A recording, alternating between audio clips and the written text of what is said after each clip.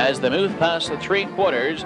And Laugh Line is a length in front there in 129 flat. Cam's Exotic second. Rimini is third. Fourth on the far outside now is Shady Daisy. Huggable Hanover fifth between pacers. They're at the top of the lane. Laugh Line with the lead. Cam's Exotic waiting for the stretch drive. Moving up on the far outside now in third. Shady Daisy coming to the payoff. And Laugh Line will open up now on Cam's Exotic. It's Laugh Line in the second division tonight of the Champlain Stakes in 156 and 6 tenths.